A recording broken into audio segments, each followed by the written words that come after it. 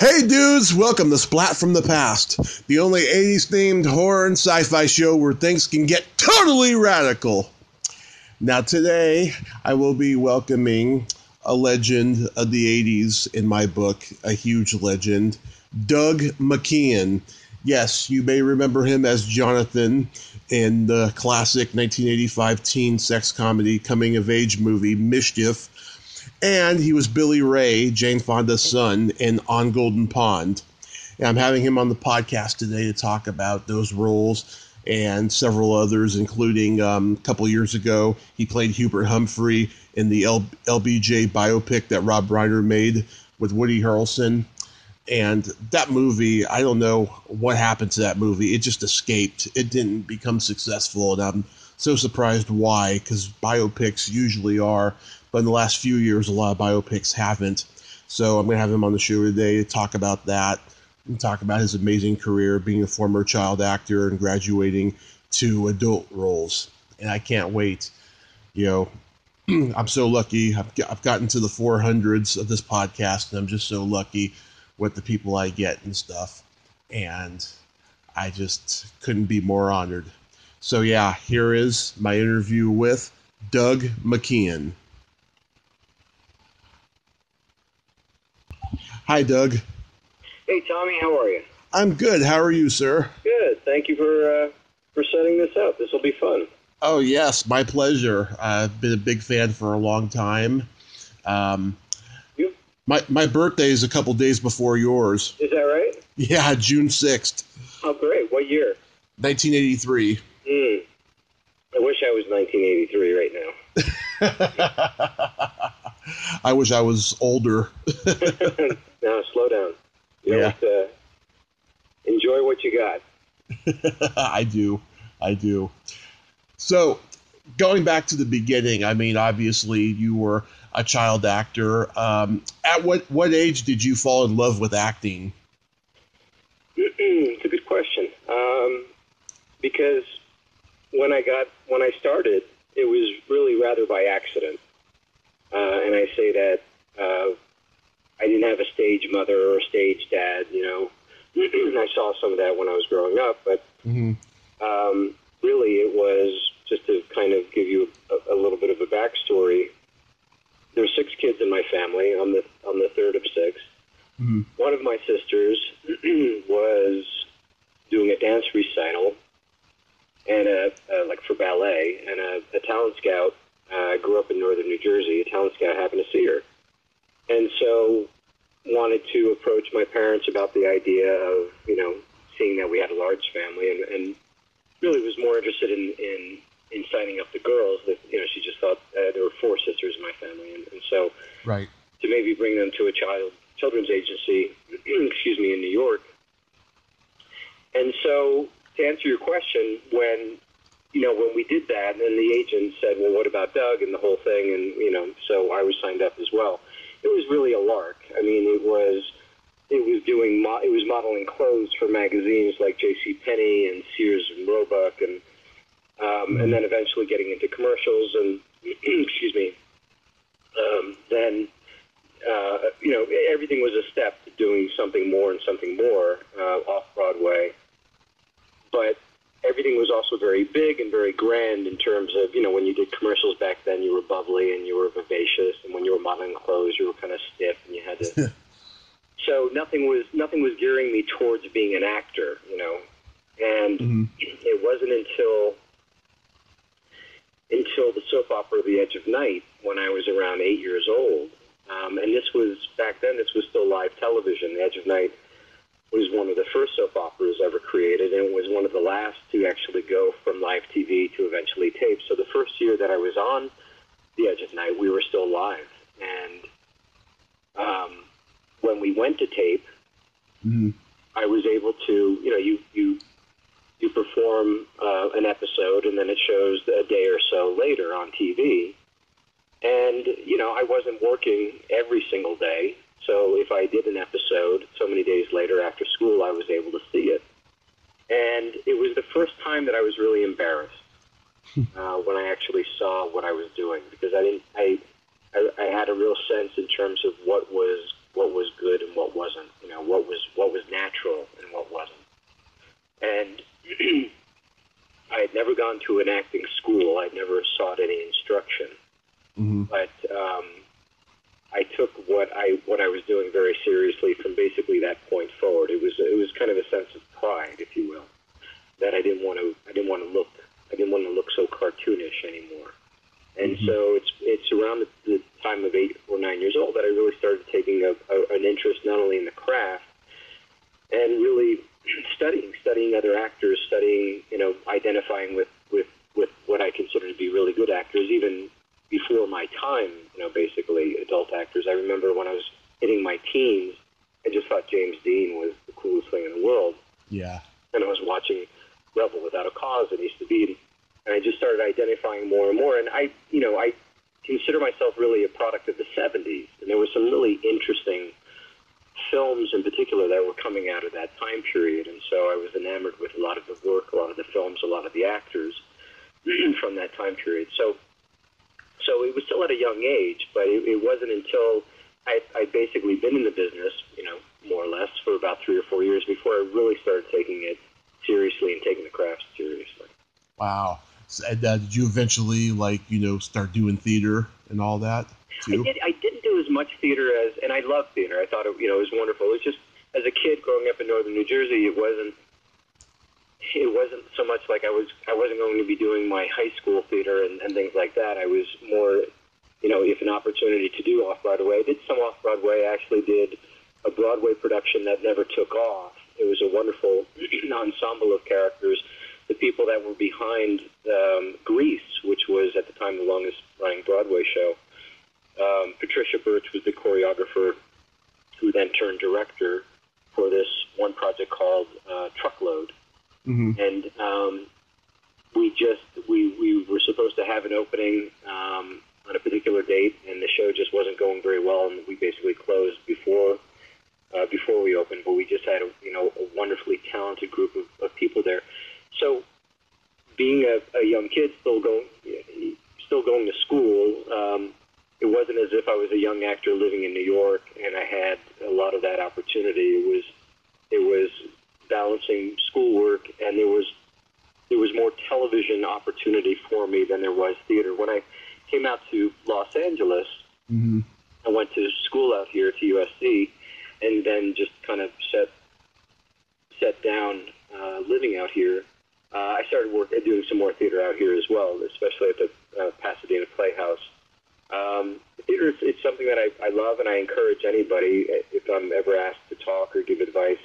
You know, theater is such an honest form, obviously, of, of what we do. hmm There are no second takes. Um, you are. It's it's immediately gratifying. Um, you can feel what the audience is feeling and thinking. Um, it's it's a true measure of, of, of your ability. So, um, you know, I, I, I sense that I'll, I'll throughout the rest of my, my life, my career, I'll, I'll I'll gravitate back to it at some point. But um, it just wasn't always there for me. hmm I see. I was reading on IMDb that one of your first like TV credits, you were in a um, Norman Lear produced pilot revival of The Little Rascals. yeah. Again, one of those projects that um, you didn't, I, you, no one knew if it was actually going to happen or take off or what have you. Uh, but uh, a young Gary Coleman was actually, you know, a part of that. hmm Um, and it was, yeah, it, it's, uh, you know, the, doing a television series uh, is is such a strange animal. It certainly was back then. In that you, you basically you, you performed, you shot basically a certain amount of episodes, twelve or thirteen episodes, and then sometimes those things never saw the light of day. In this case, I think we just did an extended pilot, maybe one other episode, and it just never it never grabbed, it never took off. And um, I was originally um, cast to play the you know the revival the, the revival of, uh, of Spanky, if you will, hmm and um, that during right before production started, basically they had this other uh, character that they created, kind of um, a spin-off character called uh, Zip Code, I think it was called. He was called, and so basically they created that character for me hmm like it just never gelled. It never it never really went anywhere. But yeah, I mean the, the thought of trying to trying to uh, do something that was just so classic. One of my favorite shows, obviously, as a kid growing up, and the fact that we were actually going to try to reboot it and, and, and do it again, it, it just uh, it was kind of surreal. yeah, that just must have been hilarious, especially to think that uh, Gary Coleman playing buckwheat.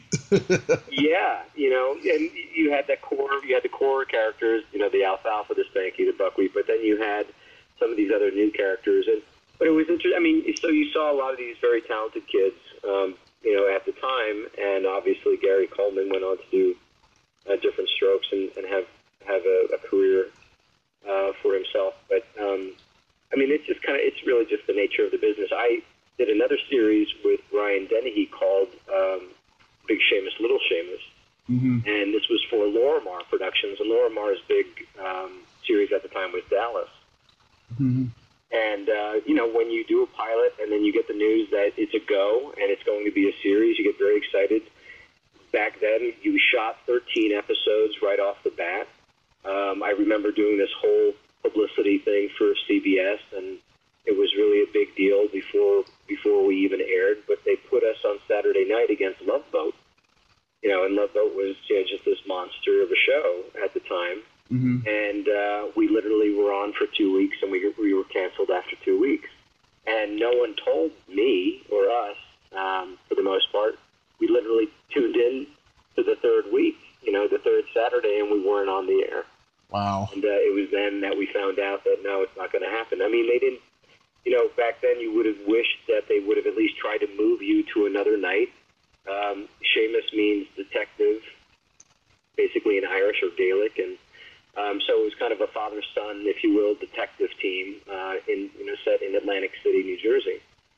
And uh, you know it was kind of a cute premise, uh, but they didn't even bother to try to move us to another night to see if we could find an audience. We just the ratings just they, we got destroyed by Love Boat, and that was it. So, um, and then you know you have as an actor you have this mindset of of, of learning about other actors who are on a successful TV series, and they just choose to leave it, you know, because they think that they're there might be a, a greener pasture there in movies or what have you, and it doesn't always happen that way.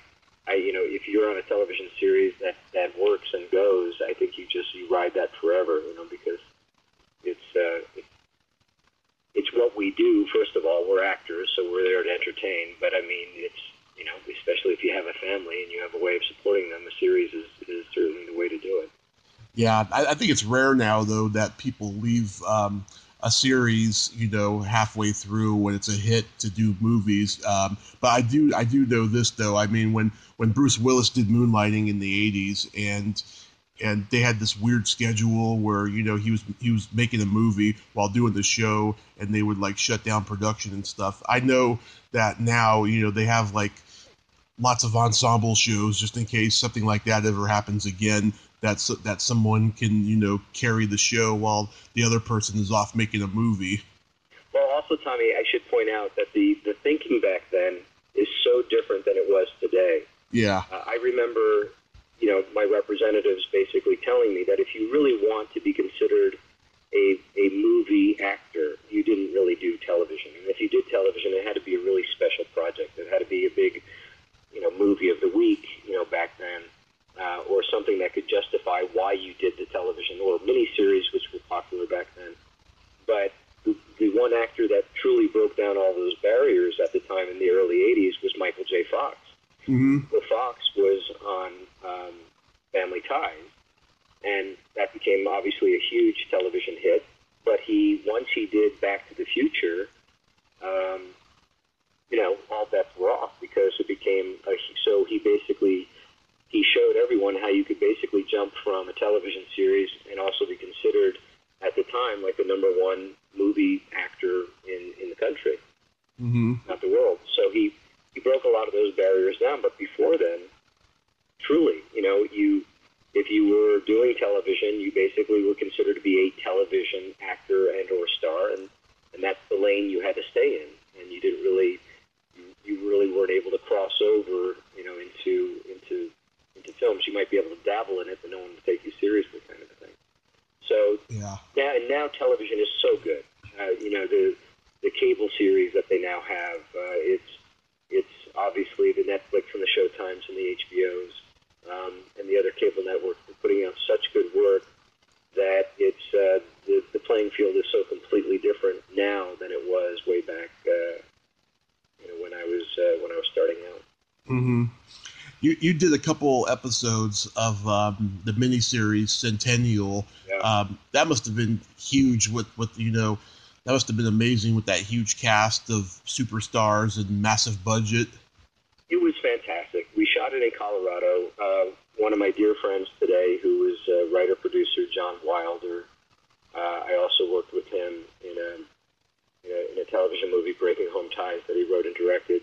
Uh, such a class act of a person, and uh, he's he's just he's been a very important part of my life, even when I was uh, seeking uh, to go to college to USC. He wrote a recommendation letter for me, even though he's a UCLA alum, and Mhm. he, we, we kid each other all the time. But he uh, just such an instrumental part of, of my young life, and he was responsible for for, for putting that whole um, miniseries together. And at the time, it was huge. I mean, it was like an 11 part series with you know a who's who of people you know in in the industry. And uh, Anthony Zerbe played my father and Lois Nettleton my mother, and they couldn't have been nicer. We were playing this theatrical family, Mm-hmm. um, and it was um, it was just it's it's you know it's fun as an actor when you slip on period clothes especially, and you feel like you're you know you're back in time, and it really helps with with your performance as an actor and what you're doing. Um, it got obviously a lot of attention. Um, it was a sprawling miniseries. They just don't they don't do those kinds of things anymore. Not not for the, the net the main networks anymore anyway. CBS, ABC, NBC. They don't do any of those things anymore. Yeah, I God, when there were so many of those. You know, like um, the Thorn Birds and Yeah. um, Um, God, so many all of them. those romantic novels, uh, you know, basically that were turned into into miniseries, and they and that was kind of that's what that was very popular in television. You know that that's what got a lot of ratings, and you know, obviously when you're a viewer and you don't have a lot of options. I mean, you didn't have thousands of channels to choose from back then. hmm uh, you know, HBO was was unique, but not every household had HBO at the time, and it, it was Mhm. a service, and um, so you still relied on on the three main networks for your entertainment. And uh, so when they did a movie of the week or they did a mini series, that was must see television back then. Um, and now it's you know you especially young audiences, they, they get their entertainment not even necessarily watching television. They got it they get it from their smartphones or their iPads, and they're watching YouTube videos and and the like. And so, well, we're we're more into consuming like binge watching, you know, our favorite television series that are on cable and. So back then, to do a mini series with an all-star cast was a big deal, and a lot of people watched it. And you know, you still even to this day, you have. Um, I've been invited to uh, to stop by. There- There's a Facebook page with fans of Centennial, hmm and um, you know that series was done back in in 19 you know 79 in 1980 when it rolled out, and um, and to this day you still have you know fans of that miniseries, and it's it's usually playing you know once a year somewhere, um, and people gravitate to it, and they and that you know when you actually sit down and and and consider all of the episodes and the and the scope of what it took to actually make that miniseries work, it's really quite an accomplishment. You know? Yeah, absolutely. Then comes the hugely successful On Golden Pond, still a classic to this day. Did you compete with a lot of kids for the role of Billy Ray?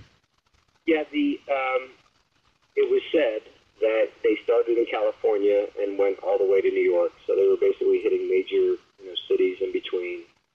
Um, and I auditioned five times for for Golden Pond for the role of Billy Ray, and um, I remember when I first started, you know, auditioning in New York, it was you know be a large group of kids in the in the waiting room basically to go in, and as I progressed, the the numbers went you know smaller and smaller. Mm-hmm. Um, and I remember, you know, recognizing some, not necessarily to everyone else out there listening to this, they wouldn't know some of these actors by name, but the actors that I know from from that time growing up, who were also very big into in doing theater in New York, who I consider to be very talented actors, were up for this role. Mm-hmm. And um, and I remember that uh, the casting director um, that I first saw, her name was Dianne Crittenden. Saw her for the first three times or so. And then um, Barry Primus, who is uh, an actor himself, a very close friend of Mark Rydell, he was uh, asked to, uh, to step in the fourth audition. And I really think it was the fourth audition that uh, set up the, the final meeting with Mark Rydell, the director, because Barry asked me some really very personal questions that mirrored not only my life but also the character of Billy Ray. Billy Ray was, you know, he was this 13-year-old um, boy that was full of angst, and he was just trying to navigate kind of what was going on in his life. Um, his father, who is now you know divorced and uh, engaged to somebody else, and, and you know, in many ways, going through puberty, Billy was kind of on this island.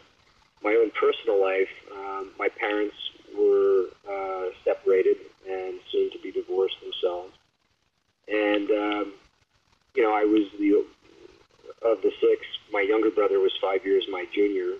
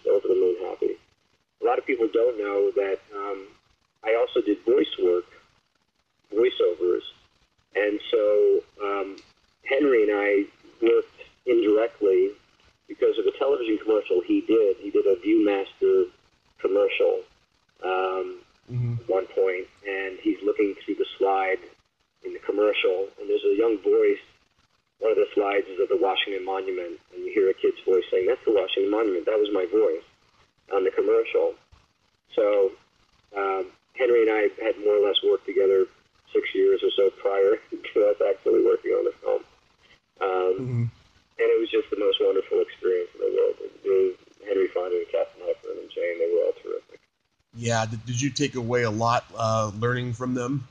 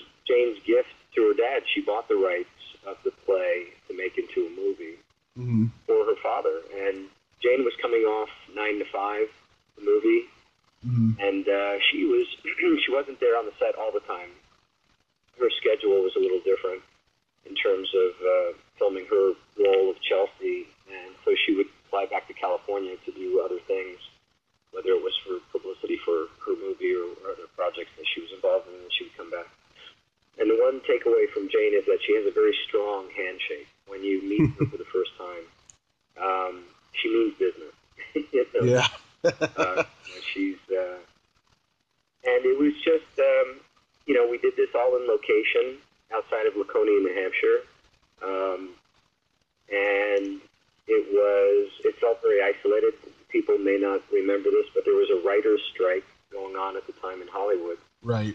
and we were one of maybe only two productions that got a special exemption in order to make this movie, mainly because of uh, the circumstances with Henry's age and, and Katharine, and the fact that these were this was the first film that they had ever worked on together, even though that they had known each other, which was kind of mind-boggling, you know, in their careers.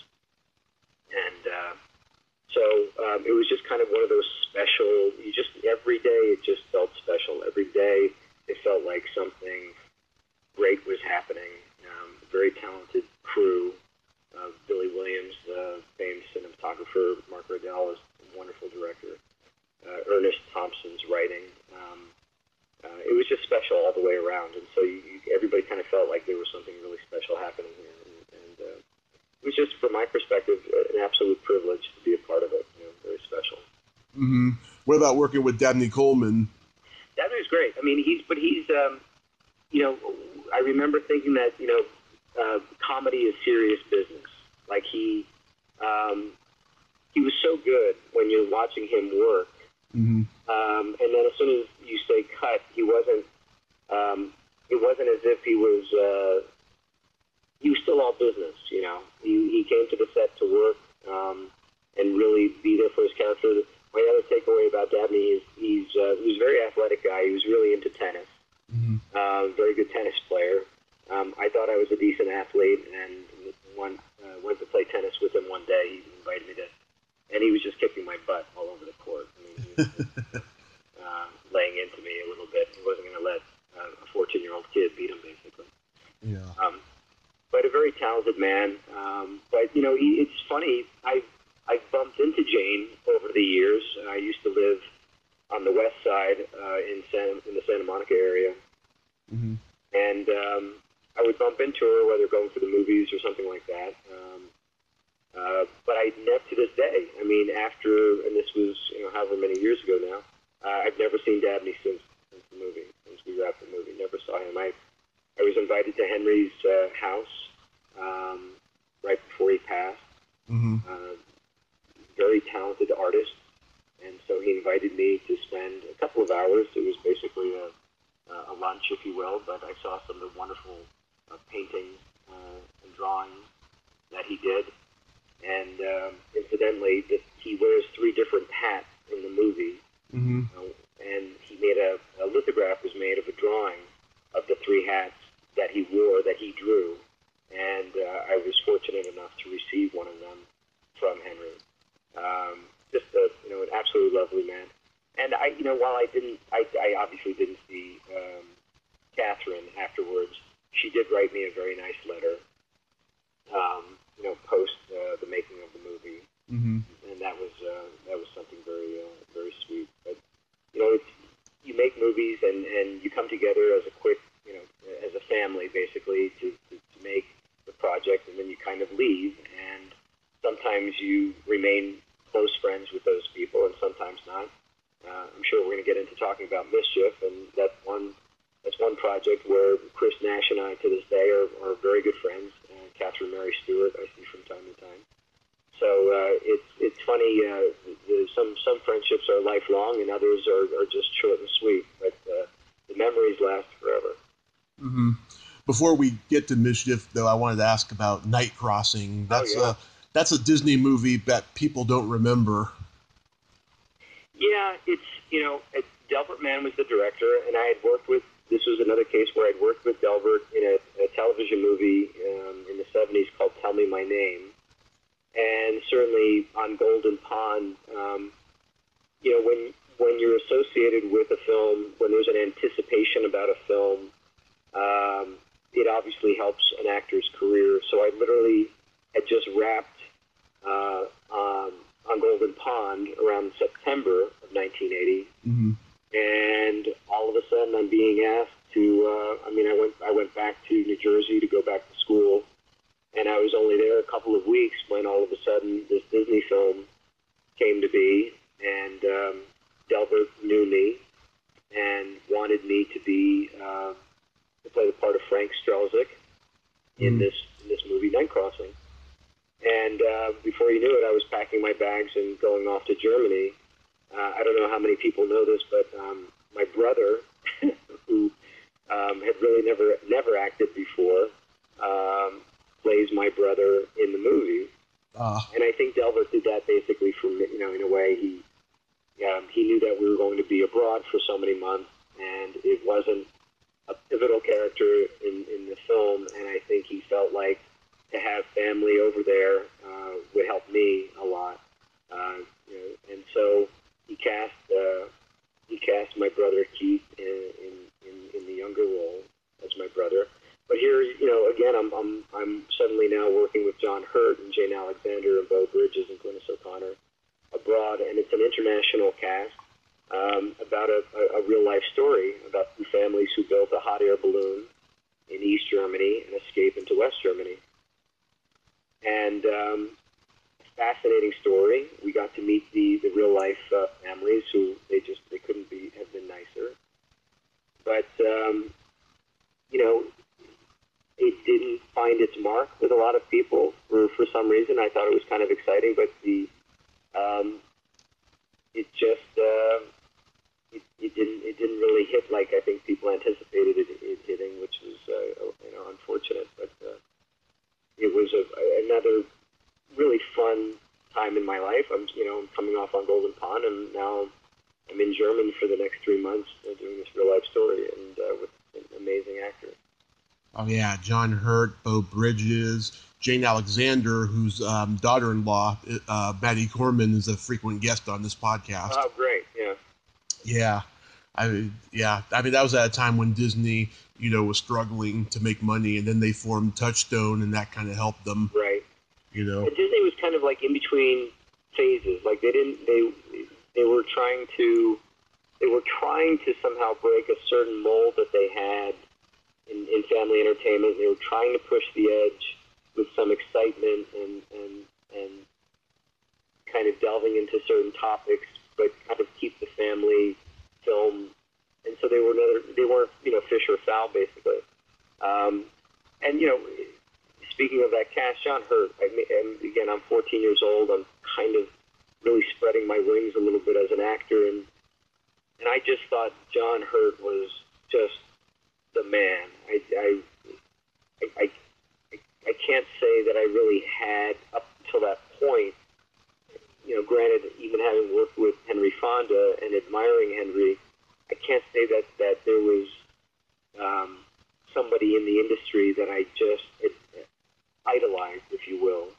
And John, for me, was that. I mean, he was the Elephant Man was out, and I just thought he was such an interesting, fascinating, uh, both actor and and person. He was a very intense individual, but in a good way. And um, and I just and I loved watching him um, work, and it was really interesting to see how he you know, kind of like on Golden Pond, you know, John was very different. I remember conversations that John and Jane would have in terms of talking about the craft. hmm Just they went about it differently. Um, you know, John was much more of, a, of somebody who preferred to use more of his imagination and less reliance on, on research for something. And Jane was kind of the opposite. I mean, she felt like if research was available, absolutely you know, delve into that and use that you know, for your performance. So it was interesting to see how these two kind of will approach the, the craft differently. Uh, but I just thought he was absolutely wonderful. And of course, when he passed not too long ago, I was just so saddened by it. But Yeah. um, it was, you know, another really incredible experience in my in my young uh, acting days. Hmm He was great, yeah. Then comes the role that I will always love, Jonathan in Mischief. Yeah. Now, yeah, my brother is nine years older than me, and he had it on tape from HBO when we were kids. And when I was four years old, I watched it while my parents were asleep. And Kelly Preston was the first girl I ever saw naked. and Kathy was my first huge crush, and she's been on the podcast four times. I, I've told her, you know, and I I told her too. I, I at that age I wished uh, that she had a sex scene too, but now that I'm older, I'm glad she didn't because she's better than that. How did you get so lucky into getting that movie? It was really um, well. First of all, it was a lot of fun. Uh, it I was turning 18 while making that film, and so you bring up the uh, the sex scene with with uh, Kelly. They purposely scheduled for me not to have that scene, even though it's more of a comedic romp, Mm-hmm. uh, until I until after my birthday. So we didn't film that until after June 10th. Mm-hmm. Um, but in terms of how this came about, it's just, um, you know, acting, it, it kind of goes in waves. Uh, you know, after doing all those other projects that I mentioned, you know, I'd go back, uh, finish my schooling, and I was graduating um, high school in 84, and my, I have to say that that the teachers, all my teachers growing up, couldn't have been nicer. The school system was absolutely fantastic. They understood that this was kind of a unique situation as I was growing up. So I would leave school. I would have tutors to help me with my work. I would come back. Well, the reason why I bring all of this up is Mm-hmm. for me to be able to do mischief in the first place, I had to end up taking all my finals early. So, you know, we started, I think, filming mischief sometime in April, and the school year goes to June. So they were good enough to, to allow me to do all of, you know, take all of my finals before I even left to go do, you know, the film. Mm-hmm. The film itself, I flew out to California, and as I sometimes did, you know, I would spend the better part of a week in California just taking either meetings or auditions for different projects before going back to New Jersey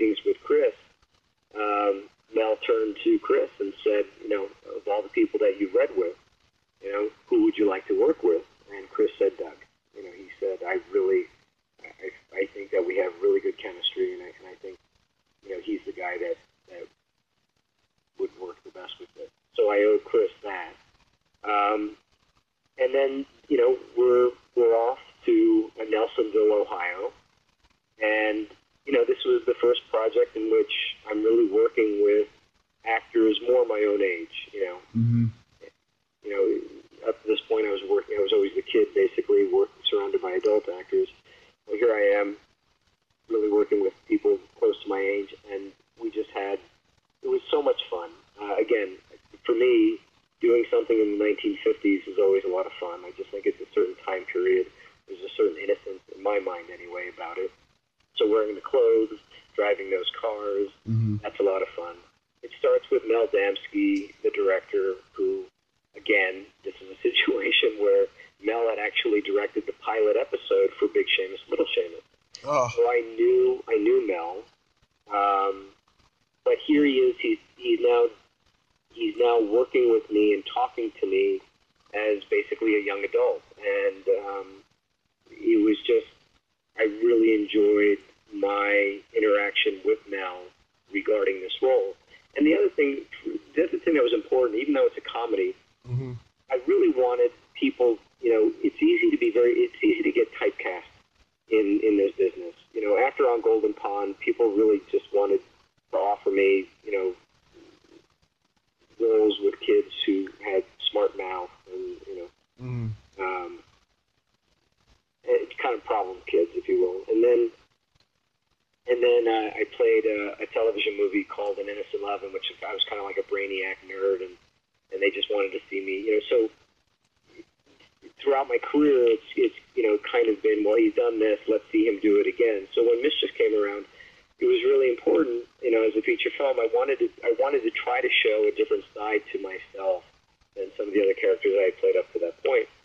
And um, and Jonathan was just you know he was just that. He was like kind of this wholesome coming of age you know kid, not necessarily a nerd, but he just he hasn't gotten a handle on things yet. Mm-hmm. And um, and it was just it was a lot of fun. Like it didn't feel like work. It just every day you came you came to the set and um, the experience that I had with all of them and the friendships that I've maintained afterward. Um, you know, I had mentioned Catherine Mary Stewart. She comes out here to LA and we Yep. get together from time to time. I talk to Chris uh, a bunch and we see each other from time to time. I don't see Kelly as much. Um, you know, she married uh, John Travolta and Mm-hmm. has her own private life. And Jamie, my goodness, Jamie uh, is now uh, married to uh, you know the, the the owner of the Atlanta Hawks for crying out loud. Yeah. So uh, we don't we don't see her you know really anymore. If I'm ever in the Atlanta area, I'm sure I, I could give her a call and go see a basketball game or something. But um, she was just so wonderful. Um, she was she came from Chicago and she had come out to LA and, and just such a talented. So it, it just, we had such talent on that movie. It was so much fun to do, and we really enjoyed each other's company. So it's Yeah. whenever I'm asked in terms of all the films that I've done, I think people always think I'm going to stay on Golden Pond. Was my favorite movie to work on. And Mischief was really my favorite just because it was such a wonderful time in my life. Yeah, it's such a talented cast. You and Chris Nash have a chemistry that's so unparalleled. It's it's one of the greatest pairings in movie history, I think. Oh, thank you. That's very nice of you. Yeah, and uh, you guys you guys shot it in Ohio. It, it looks like the weather was pretty rainy and, and overcast. Was it? I, you know, my my memory of that, it wasn't. It, it may there may have been some days that kind of looked like that, um, but I don't remember weather being too much of a factor, to be honest. Um, you know, we obviously had day shoots, we had some night shoots, but I don't remember it being too rainy, to be honest. And the people are great, by the way. Um, you know, when you whenever a, a movie comes into town, I, I think they everything the people who are watching from afar think it's it's um, you know Hollywood, and it's making a movie is not the most exciting thing in the world. Trust me. Yeah. It's a lot, it's a lot of hours every day where it doesn't look like anything is really happening. Um, but the, the the people couldn't have been nicer while we were there, and I I think I I'm, I'm told that they they still show the movie. They kind of have like a, an annual screening of the movie, you know, in and around Nelsonville, you know, even all these years later. Um, so I'm glad they've embraced it so much. But yeah, I, you know, it's Mischief was was one of the last, if you want to call it, sexploitation movies that were made. Um, you know, we ha- we live in such a copycat business that Mm-hmm. when the movie Porky's was made, then a whole string of coming of age uh, romps, if you will, were were made. Mm-hmm. And I remember people saying to me that when Mischief came out, and of course they advertised it with me falling out of a, a 57 Chevy with, with Kelly Preston, and in some mock-ups they actually had me holding a pair of, you know, her panties, you know, dangling from my Yeah. one of my hands. And I had people come up to me after the fact and said, you know, I didn't see that movie in the theater because, you know, I, I just, the whole thing was oversaturated with these sex teen comedies. I was just over it. And they said, but when I eventually did see it, whether it be on cable or they rented it back way back when, when it was on VHS, they were pleasantly surprised because it wasn't that. You know, even though it was Yeah. it was more or less advertised as one of these. It was more than that. It really, it, it was, it was done, you know, in in a really more, um, for lack of a better word, respectful way and uh, it was touching at times, and it was obviously funny. Um, but they just, you know, and so I think it had it, it it became more of a cult movie to a lot of people after the fact because of people that didn't see it in the movie theaters that you know this was actually a very good film, and it, and it just um, it might have been the advertising at the time that kind of yeah. believe it was going to be a certain kind of movie when it when it was more than that, you know. Yeah, it was a lot deeper, and it had it had um, the same kind of um, pre-Kennedy assassination sentiment that uh, American Graffiti had. Oh, that's very yeah. That's a, that's a terrific insight. Um, I, I I think that's true. I think there was certainly there was just kind of an innocence, and depending upon where you are in your life, you could certainly identify. I think everybody everybody can identify that period of time in their life. That regardless of whether it's the 50s, 60s, or present day, you know, puberty is puberty. But you but there's a certain kind of nostalgia that if you're of a of a certain um, age group that you you appreciate, and I think we captured that in a in a nice way. Mm-hmm. When you did um, Heart of a Champion, did you tell Robert Blake about that Little Rascals pilot? no. Um, we shot Heart of a Champion in about most most television movies uh, are shot within 21 days, mm-hmm. and um, Robert is a tough cookie. Uh, yeah. if you can just imagine mm-hmm. um, the persona that he kind of, the air that he gives off, you know, when just looking at him uh, on film, mm-hmm. he's uh, he's pretty much that way. Uh, we, he, I didn't get very close to Robert um, while making the movie. Talented man, obviously, um, mm-hmm. but uh, he's he's an actor that uh, you know once once they said cut, that was it. We kind of went our separate ways.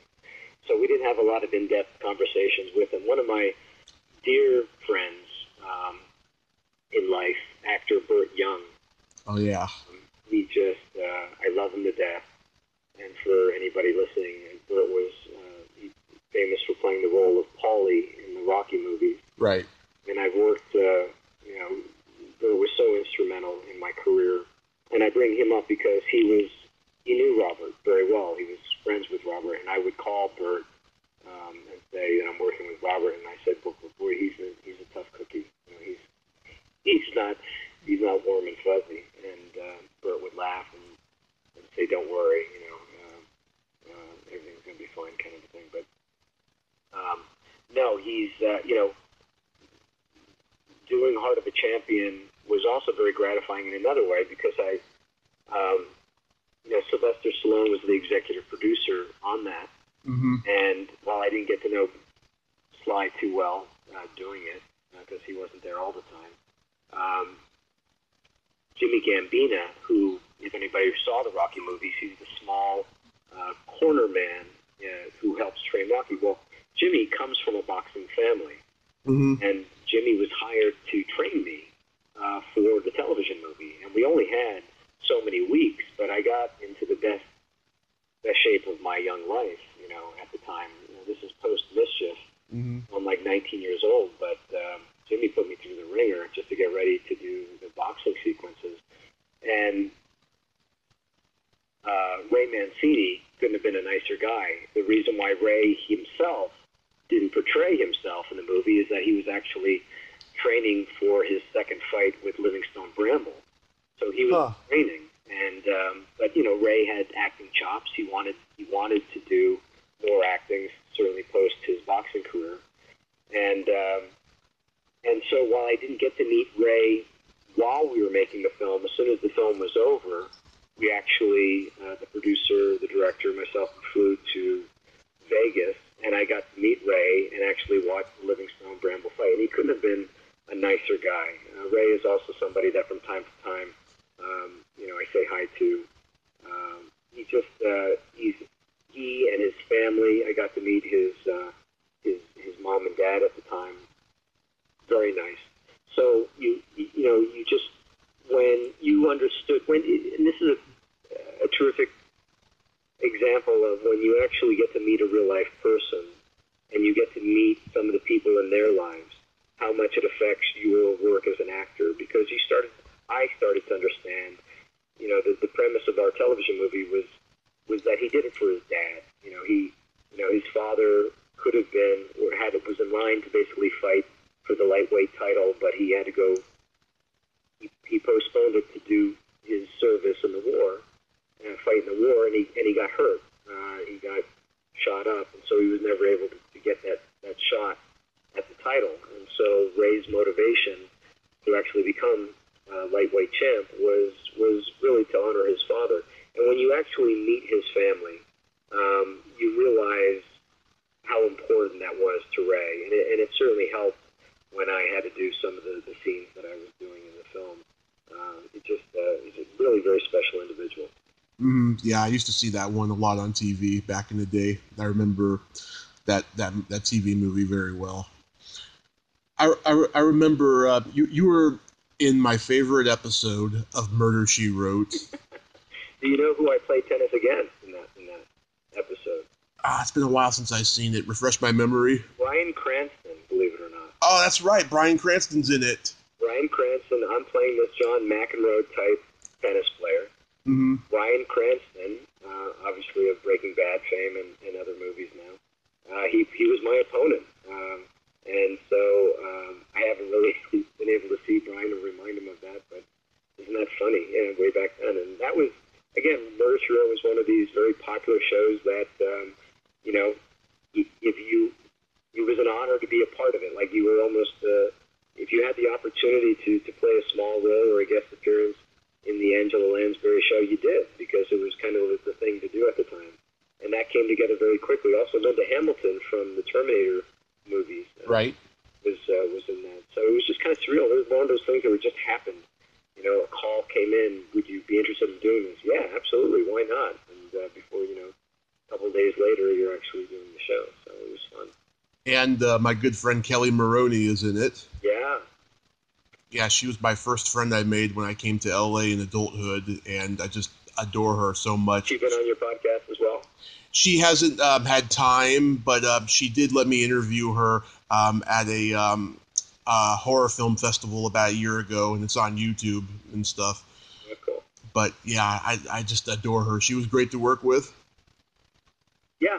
Oh, that they, they were. all- I mean, it's it's it happens so quickly, you know, and Mhm. sometimes you don't have the luxury of always hanging out and talking as much as you would like to. It, you know, it moves very quickly. Um, but yeah, I mean, the, the most that you really have, the most that you have is maybe at lunch. you're you're just kind of sitting around eating lunch and kind of talking, and you don't Yeah. want to talk shop too much. You don't you you know sometimes that's the last thing some other actors want to do is kind of talk about some of the other things that they've been doing. They'd rather talk to you, obviously, just you know, simple conversations about life in general, their kids, whatever it might be. Right. But um, but all you know, very pleasant. They were all just you know terrific, and you just kind of went in there, you, you did your job, and you- and and you left basically. But it was fun to do nonetheless. And I, you know, a- again, it plays, you know, Murder She Wrote plays all over all over Europe or what have you, and and um, all of a sudden somebody will write and say, hey, I just saw you last night. Um, uh, one one of my friends from growing up literally just dropped me a line because uh, an episode that I did of Ray Donovan, you know, showed up and, and said, "Hey, I just saw you the other night." Uh, I there was there was a time earlier in growing up that I would sit and watch the work that I did. Now now it's hard for me. I just it's not. I invest what I can into the work, but I'm less interested in actually seeing it afterwards. It's kind of a strange thing. It's hard to explain, but uh, Yeah. um, Actors don't like watching themselves as especially as we get older for whatever reason it's it's um, it, it's hard to articulate it, it's just once you put the time and the effort into doing the work you almost don't want to revisit it again um, and also there's more of an understanding that for example I did a film LBJ um, in which I, you never knew I played Hubert Humphrey but that's who I played and um, Yeah. at the very end of the film. Well, there was a screening for it. Uh, Rob Reiner, who was an absolute pleasure to work with, and was excited to to work with Woody Harrelson. But when they showed the screening, all of a sudden it's edited in a certain way that you never anticipated, and um, you never really see me or understand who my character is. And I understand that that's that's kind of what happens, you know, when you get into post production. But it's hmm it's that's out of your control. So I think the older I get, um, you never know how you're going to be represented or how you're going to be seen. and certainly don't want to be disappointed if it didn't match what you were thinking in the first place. So it's almost best for other people, hopefully, to enjoy it and comment on it, but not necessarily see it yourself. Yeah, I was surprised that LBJ didn't didn't do that well, and it seems like a lot of biopics last few years haven't been marketed correctly. Maybe that's why they haven't done well. Although um, Bohemian Rhapsody did pretty well, obviously. Yeah, and you know, on the subject of LBJ, Bryan Cranston um, had done his version called All the Way, which I think was first um, done uh, in uh, in uh, on Broadway or off Broadway in New York, and then they they made it into a cable movie, and he was wonderful. But part of the problem is that when you have uh, two projects that are basically the same, you can't put them out one after the other, and theirs came out first, and so I think you know they Castle Rock made the decision to delay it. Um, at the time we were making it, we were getting a lot of attention and a lot of hype. Uh, also because of the actors that were attached to it, uh, Jennifer Jason Lee being one of them. And um, but when it came out, it just it didn't it didn't make the splash that they were hoping to.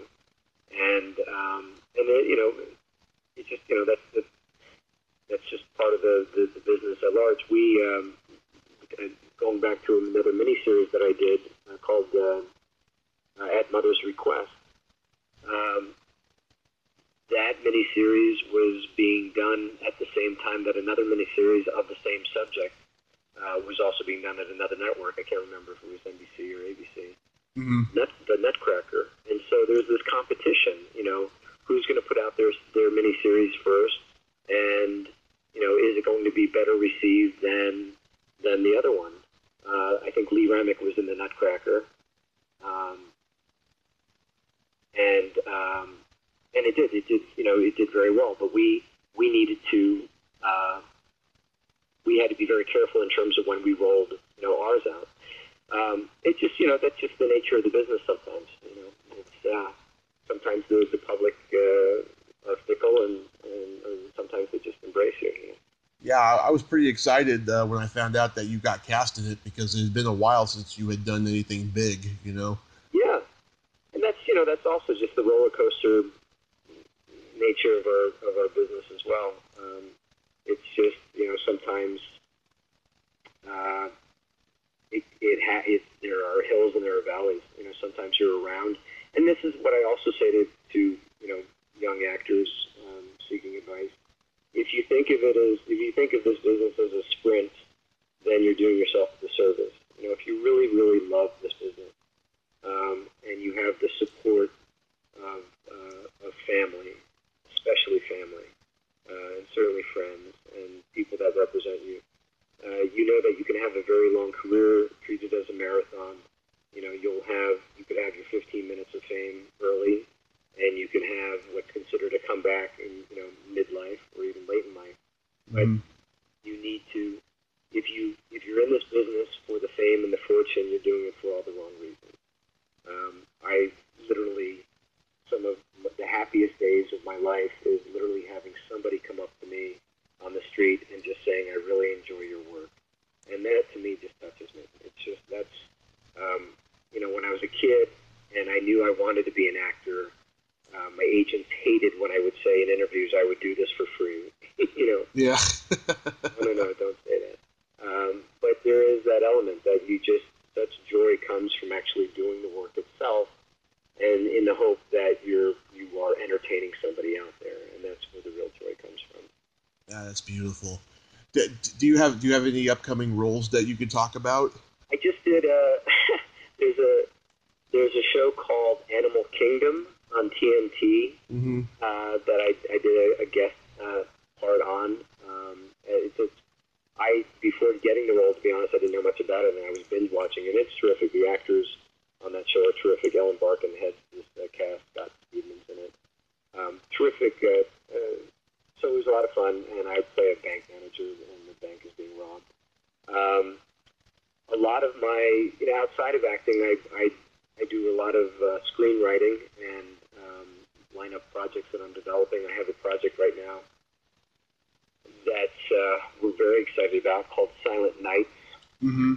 and it's about a deaf college football team. Uh, Marlee Matlin is attached, so Oh, it's nice. in the right direction. And um, so, with fingers crossed, we might be able to uh, let people know that uh, that, is something in the works and, and might be done later this year.